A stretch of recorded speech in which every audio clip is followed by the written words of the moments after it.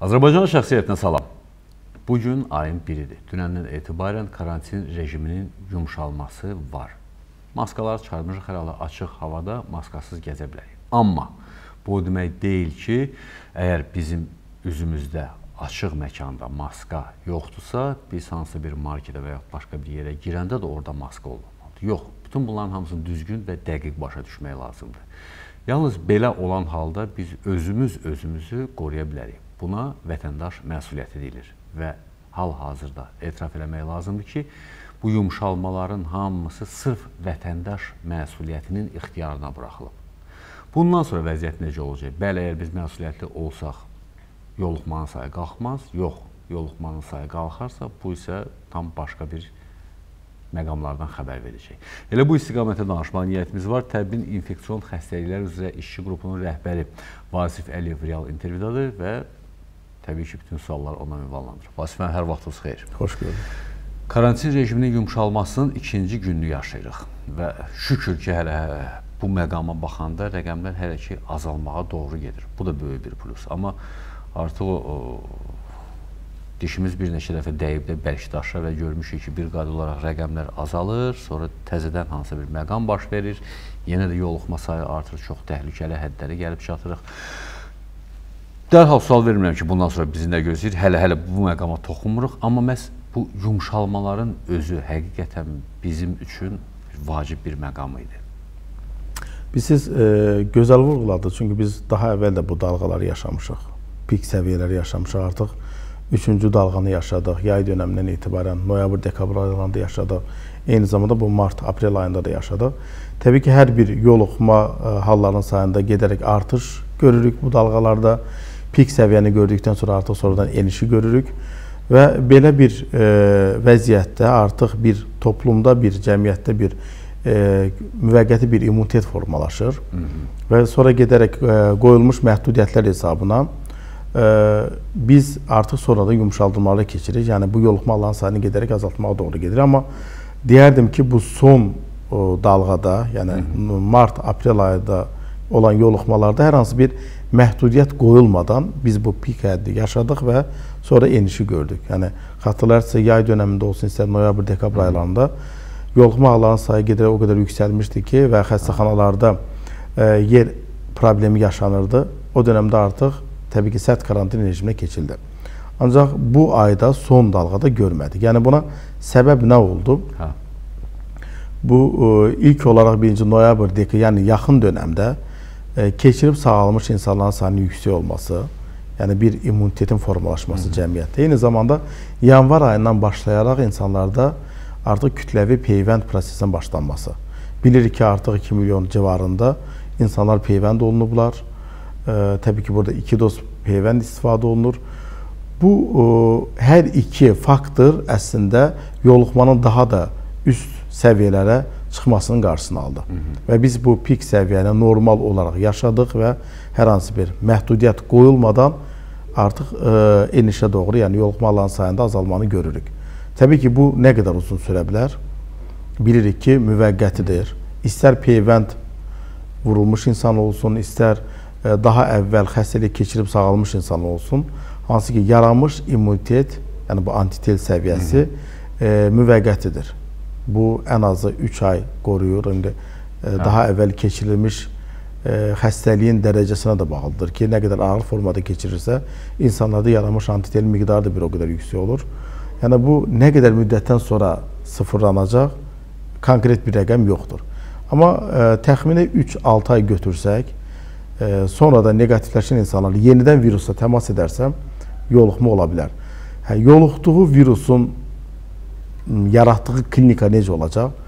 Virusda özü biz ki, mutasiya uğrur. Yeni-yeni mutasiyalardan danışdıq. Gələcəkdə hansı mutasiyalar olacaq? Hansı formada keçirəcək? Daha ağır mı formada keçirəcək? Yoxsa daha yüngül mü formada keçirəcək? Onda belə deyək, gələcək göstərər. Ancaq bir hər zaman hazır olmalıyıq. Nəyə? Hal-hazırdakı dönəm rahatlıq dönəmidir. Hər kəs təbii ki, maskalarını çıxartdı. Hı -hı. Lazım idi bunlar. Yoluxma hallarının sayı gedərək azalmağa doğru gedir, ancaq ehtiyatı da əldən verməmək lazımdır. Profilaktik tədbirlər öz yerində. Hə. Bunlardan çox bəhs etmişik. E, gigiyena qaydalarda maskanın taxılmasıdır. E, eyni zamanda ara məsafəsinin gözlənməsi təbii ki, qapalı məkanlarda. Hansı ki, virus riski xəstə insandan sağlam insanı yoluxma riskinin yüksək olduğu məkanlar. Nə qədər qapalısı bir o qədər yüksəkdir. Açıq havada bu risk dəfələrcə azalır. Bundan əlavə peyvəndləmə prosesi. Yəni bu profilaktik tədbirlərlə yanaşı digər bir profilaktik tədbir pasiv immunizasiya, yəni peyvəndləmə prosesini sürətləndirmək. Bilirik ki, artıq COVID e, vaksini yəni e, eyni zamanda daha əvvəl e, xəstəlik keçib sağalmış insanlarda bu vaksin sertifikat e, vardır ki, hansı ki 6 ay müddətində bunlar öz qüvvəsindədir. Bunu sürətləndirmək lazımdır. Bilir ki, bəzi məkanlar artıq o vaksin sertifikat olmayan insanlarda həmin o məhdudiyyətlərindən e, deyim ki, e, əlavə imtiyazlardan istifadə edilməsinə əngəl törədir. Ona görə şəxs özü də maraqlıdır ki, bu vaksini əldə eləsin. Eyni zamanda biz bu vaksin prosesini yəni daha da şuurlu şəkildə kütlədə cəmiyyət içərisində nə qədər sürətləndirsək, bir o qədər bir toplu, cəmiyyətdə bir kütləvi bir immunitet yaranar ki, gələcəkdə də virusun ötürücülük qabiliyyətini zəiflədər. Yəni həmin o zənciri poza bilərik. Amma yenə dedim ki, bunlar e, təkrarlanmalıdır. Çünki e, immunitet müvəqqətidir. Vaksin də gələcəkdə təkrarlanacaq. Yəni bir dəfə vaksin oldum, sonradan vaksin olmuyorum. Təbii ki, bunu gələcək göstərər. E, amma bu vaksin də özü də bir müvəqqəti bir immunitet yaradır. Biz o profilaktik tədbirlərə hər zaman əməl etməliyik. Yəni bəzi şəxslər var, baxmayaraq ki, maska hal-hazırda e, artıq e, qüvvədən deyil, yəni maska taxılması. Ancaq şəxs özü belə sağlamlığını qorumaq naminə maskadan istifadə edir. Özəlliklə bunu biz qapalı məkanlarda, yəni hansı ki, xəstəlik, xəstə insanlarla təmas riskimizin yüksək olduğu məkanlarda biz maska taxılmasını davamlı olaraq zəruri etməliyik. Baxmayaraq ki, bizim peyvəndimiz var, baxmayaraq biz daha əvvəl xəstələnib sağalmışıq. Çünki bilirik ki, peyvənd vurulmuş insanlarda da xəstəlik yüngül formada keçirə bilər. Yəni biz ən azından klinik olaraq öz xəstəliyimizi özümüzdə yüngül formada keçiririk, yəni peyvənd vurulmaqla, amma eyni zamanda e, virus ötürücülüyünə də səbəb ola bilərik. Yəni bunu da düşünməliyik. Mən yaxın bir neçə bir neçə ay deyəndə çox qısa bir müddətə bax baxıram. Hər halda söhbət iyun, iyul, avqust aylarında mən baxıram. Mənə nə baş verir? Qarşıda bizi iki böyük idman tədbiri gözləyir. Bu Avropadan 10 minlərlə insanın Azərbaycana gəlişidir. Hələ biz bilmirik Şolxan içərisində həqiqətən virus daşıyıcısı var ya yoxdur. İstisna olunmur ki, olacaq. İkinci bir tərəfdən bəli, maskalar çıxarıldı və açıq səma, açıq havada biz ə, maskasız gəzə bilərik. Hərçənd ki, mən çox təəssüflər olsun, amma yenə də onu hətta bağlı məkanlarda belə maskasız gəzməyin paralelliyini də görmüşəm. Maska özündə yoxdursa elə onsuz da yenə də girir hansısa bir marketə. Düzdür, marketdə deyirlər ki, tax, tax, amma bu hərəkət ki var, o insanda heç nə olmaz. Bax, çox təəssüflər olsun ki, həmin o hərəkətləri gördüm və mən yenə deyirəm, mən çox ehtiyatlanıram. Nədən? Həmin o tədbirlər başa çatandan sonra yayın ən belə gözəl bir çağında yenidən bizdə o rəqəmlər qalxa bilər. Məs əgər həqiqətən də metronun açılması, açıq havada maskanın ə, e, taxılması mütləq olmaması, plus həmin o idman tədbirləri, bütün bunların hamısının fonunda üstə gəlib təbii ki, peyvəndləmə, bütün bunların hamısı plus və minusları yanaşı qoyanda indi o sualı verə bilərəm ki, bizi nə gözləyə bilər? Pluslarımız da var. Təbii ki, bizim üçün ə, e, növbəti bir dalğaya addım atmaq üçün bir minuslarımız da var. Yəni vəziyyət belə bunu tələb edir. Bunların fonuna baxanda məhz bizə növbəti dalğa yenə də vurub yıxmasın deyənə konkret olaraq hansı addımları atmalıyıq? Peyvəndləmə bəlli məsələdir, mütləqdir. Administrativ nöqteyi nəzərdən bəlkə hansısa bir yeni variantlar lazımdır ki, onlardan istifadə eləyək ki, mümkün qədər o həmin o dalğanı özümüzdən uzaq saxlayaq. Mən düşünürəm ki, elə bu peyvəndləmə prosesini sürətləndirmək, yəni az öncə dediyim kimi, hansı ki, bəzi imtiyazlar var ki, o imtiyazdan sadəcə peyvəndlənə və ya daha əvvəl xəstəliyi keçirib, hansı ki, immun sertifikatına sahib olan insanlar istifadə edə bilirlər ki, e, şəxs özü olsa maraqlı olacaq peyvəndləmə prosesinə aktiv qoşulmağa. Təbii ki, dediyiniz risk böyükdür. Xaricdən gələn minlərlə insan olacaq ki, hansı ki, bunlarda ola bilər ki, e, hava limanında test verib neqativ olub, Amma ölkəmizə gəldikdən sonra xəstəlik əlamətləri başlaya bilər. Çünki xəstəliyin inkubasiya dövrü 14 günə qədərdir. Hı -hı. Testi də bu 1 gün, 2 gün öncədən verdiyinə görə həmin vaxt xəstəlik əlamətləri olmayıb ölkəmizə gəldikdən sonra e, burada xəstəlik əlamətləri başlaya bilər və aktiv bir virus daşıyıcısı ola bilər. Hansı ki, bunlar da stadionda insanlar kütləsinin bir-birinə çox yaxın, yəni o istihamın daha da sıx olduğu bir yerlərdə virusu qarşı şəxsə ötürə bilər. Hı. Bu cür risklər olacaq. E, istər xaricdən gələn turist hesabında olsun, istər ölkə daxilində olsun. Təbii ki, yoluxmaların sayı davamlı olacaq.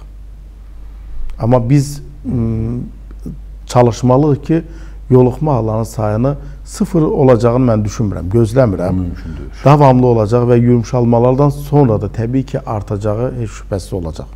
Ancaq nə qədər artacaq? Hı.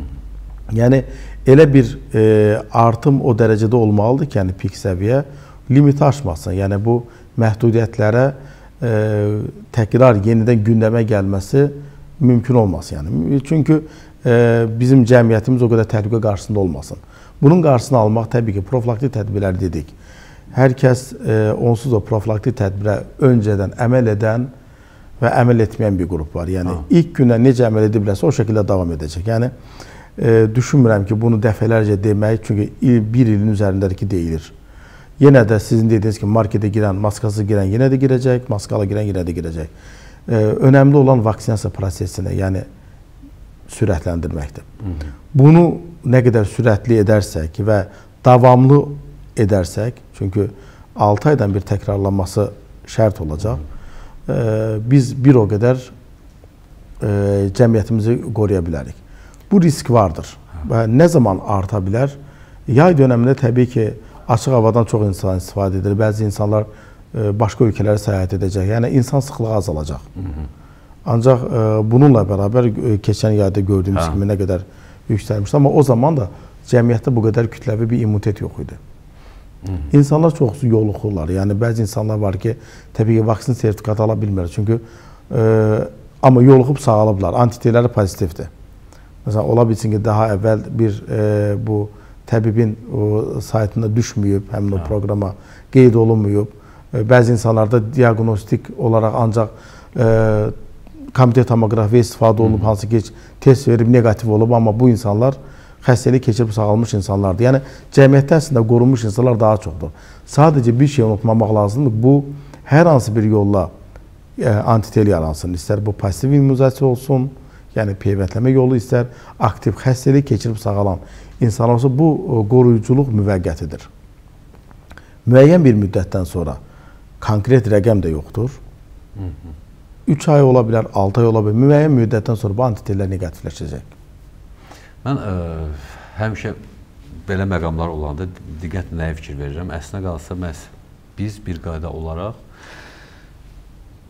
qoyulan bütün qayda qanunların həyata keçirilməsinin tərəfdarıyıq. Amma ikinci bir tərəfdən real rəqib konkret olaraq sosial şəbəkədir. ki, orada həqiqətən yazılanlara baxsan, yox, heç nə olmayacaq, azadlıq və s. və yaxud belə anlaşılmaz şüarlarla sanki insanların eşitmək istədiyini onlara eşitdirib və digər tərəfdən də onların özlərinin yoluxmasına rəvac yaradılar. İnsanda belə bir, məndə hər halda belə bir təəssürat yaranır ki, sosial şəbəkədə olan müəyyən qüvvələr konkret olaraq bizim vətəndaşların daha çox yoluxub dünyasının dəyişməsinə, ağır vəziyyətə düşməsinə doğru istiqamətlənmiş bir iş aparır. Əgər orada yazır kimsə hansısa bir aktiv yazırsa ki, mütləq maskalar çıxmalıdır. 5 nəfər, 10 nəfər, 50 nəfər onun yazdığını oxuyur və həqiqətən də maskanı çıxır və bunun müqabilində həmin onu yazan şəxs o 50 nəfərdən heç olmasa bir 12-13 nəfərin yoluxmasına yol açır. Və digər tərəfdən də mən fikirləşirəm ki, əgər həqiqətən də belə bir addım atılırsa, artıq söhbət bəlkə də artıq bizim daha yüksək high level deyilir, yüksək bir səviyyədə mübarizədən söhbət gedir ki, burada artıq peyvəndlənmə və özümüzü qorumaqdan yox, sanki biz insanlar arasında gizlin bir müharibədən də söhbət gedə bilər. Məni əsas əslində qalsa narahat edən məqamlardan biri də odur. Əslində mübarizəni sosial şəbəkələrdə də aparmaq lazımdır. Çünki onlar da təbii ki, insanların düşüncələrinə direkt olaraq təsir göstərən faktorlardır. Amma mən düşünürəm ki, əgər həqiqətən o əks fikirdə olan insanlar bizim söyləyəcəklərimizi anlaya biləcək səviyyədə olsalar, bilərlər ki, biz onların sadəcə sağlamlığı üzərində dediyimiz e, məsləhətlər, tövsiyələr sadəcə onların sağlamlığına yönəlmiş e, addımlardır. Yəni düşünürəm ki, onlar yəqin ki, e, bu verilişi, maarifləndirici bu proqramları e, sonuna qədər izləmirlər və izləyib də anlamırlar. bu baxımdan əks bir fikirlər yönəltdilər. Yəni nəticə etibarilə e, cəmiyyətin sağlamlığı, yəni fərdin sağlamlığı və tərsi Yəni fərdin sağlam olarsa, eyni zamanda bütün cəmiyyət sağlam olar. Çünki qayda, qanunlar, məhdudiyyətlər bir şəxs üçün deyil, bütün e, cəmiyyət üçündür. Biz bundan qorunmağın yeganə yolu o ana düşmək istəmiriksə, xəstəxanalarda o vəziyyəti görmək istəmiriksə, hansı ki, həmin o komment yazan insanlar heç biri o xəstəxanadakı vəziyyəti görməyiblər. Onlar təbii ki, həkim olanlar heç vaxt elə yazmazlar. İstər ə, digər tibb işçilər olsun. Çünki o vəziyyətlər biz görürük. Və yaxud yaxıdı xəstələnibsə, onun ağır əziyyətini görsə, inanmıram ki, elə bir şey yazsın. Yəni şərt deyil ki, ə, bu ə, əks fikirdə olmamaq üçün illaki yəni yaxını xəstələnsin, dostu xəstələnsin, qohum əqrabası xəstələnsin ki, bu vəziyyəti görüb bu fikirdən daşınsınlar. Yəni ə, bütün ə, ətrafımızda olan insanlar hər birinin ətrafında olsa xəstə olub sağlanan insanlar oldu. Bəziləri yüngül keçirdi, bəziləri ağır keçirdi. Bizim sadəcə tövsiyəmiz ondan ibarətdir ki, öncədən bu xəstəliyi hansı formada keçirib keçirməmiz haqqında hər hansı bir məlumat yoxdur, bir fikir yoxdur. İnsan ola bilər ki, xəstəliyi yüngül formada keçirsin. Təbii ki, bu faiz daha yüksəkdir. Hə. Amma ola bilər ki, ağır formada keçsin və ağır formada keçirməmizə səbəblərdən biri yanlış bir müalicə də ola bilər. Bunlar da bizim bəlkə də normal formada keçir, amma yanlış müalicə eləyib daha da xəstəliyimizin ağır formatına keçməsinə səbəb özümüz belə ola bilərik. Hı -hı. Yəni öncədən bilə bilmirik ki, ona görə bu tövsiyələr bütün cəmiyyətə şamil edilir. Yəni biz özümüzü riskə atmamalıyıq. Yəni bu xəstəlik təbii ki, respirator bir infeksiyadır. Hə. Çox rahatlıqla da keçirə bilər. Hər hansı bir əlamət olmadan bəzən o insanlar ki, hansı yüngül formada keçirir, xəstəliyə e, belə deyim ki, çox göz ardı baxır. Çox rahat bir xəstəlikdir, amma ola bilər ki, e, yaxınında elə bir ağır formada keçsin ki, təbii ki, o zaman bu xəstəlik göz ardı ediləməz. Bizim ona görə bunların hamısını görərək bütün cəmiyyətə elədiyimiz tövsiyə, verdiyimiz bu maarifləndirici tövsiyələr hamısı eynidir. Hı -hı. Yəni sadəcə xəstəlikdən qorunmaq, özümüzü riskə atmayaq, daha öncədən bu xəstəliyin hansı formada keçirilməyimiz bəlli olmadığına görə sadəcə yoluxmamaq və yoluxarıqsa daha da yüngül formada keçirməyimiz üçün nə etməliyik? qiymətləmə prosesinə aktiv qoşulmalıyıq. Deməli, hər bir halda əgər yekunlaşdıracaqsa, hər bir halda bu yaxın 2-3 ay nəzərə alsaq, mütləq və mütləq peyvəndləmə mütləqdir. Mütləq və mütləq peyvəndləmə mütləqdir. İkinci bir yol yoxdur, yəni. Sadəcə peyvəndləmə prosesinə aktiv qoşulmaq, yəni cəmiyyətin nə qədər hissəsi, çox hissəsi peyvənd olunarsa, yəni virus bir o qədər ötürülməz başqa insanlara və virus həmin o şəxslərdə xəstəlik əlamətləri yaradarsa belə xəstəxanaya yatış ehtiyacını dəfələrlə azaldır. Hı -hı. Yəni e, bu zaman nə olacaq? Xəstəxanalarda çox e, xəstə yatmayacaq, e, çox ağır xəstələr reanimasiyaya e, köçürülməyəcək, ölüm riskimiz azalacaq və e, bu xəstəliyə daha da bəsit bir formaya keçirəcək, yəni insanlar Hı -hı. daha da yüngül formada keçirəcək. Yəni yanaşma da o, o qədər bəsit olacaq. Anladım. Çox sağ olun Vasim müəllim. Uğurlar. Çox ümid eləyirəm ki, yaxın bu 2-3 ay ərzində 3 ay götürəm də hər halda sentyabra qədər vəziyyət istədiyimiz qaydada olar. O da ki, birbaşa biz vətəndaşların özündən asılıdır. Uğurlar. Çox sağ olun. Təşəkkür edirəm. Təbin infeksion xəstəliklər üzrə işçi qrupunun rəhbəri Vasif Əliyev real intervyuda idi və Vasif müəllimlə biz çox məqamlara toxunduq. Ən əsas məqam həqiqətən də burada məsuliyyətdir. Məsuliyyət. Düzdür, bir qayda olaraq insanlar var ki, onlar ə, e, deyirlər ki, yox, bəs filan kəs peyvənd vurdurdu, vəziyyətə ağırlaşdı. Mən də peyvənd vurdurdum və mənim peyvənd vurdurduğum qolumdakı o əzələ ağrısından başqa mən həqiqətən qətiyyən heç nə hiss eləmədim. Nə ürək bulanması, nə qızdırma, nə ümumi haldan düşmə, heç nə. Və digər tərəfdən də yaddan çıxarmaq lazım deyil ki, bu peyvəndlənmə ilə bağlı plus biz öz şəxsi öz immunitetimizi qaldırmalıyıq. Plus psixoloji nöqteyi nəzərdən stabillik, stressdən uzaq. Bütün bunların hamısı həqiqətən də şahidiyəm hər halda öz üstündə. Bütün bunların hər bir məqamı bizi xəstəlikdən mümkün qədər uzaq saxlamağa kömək eləyir.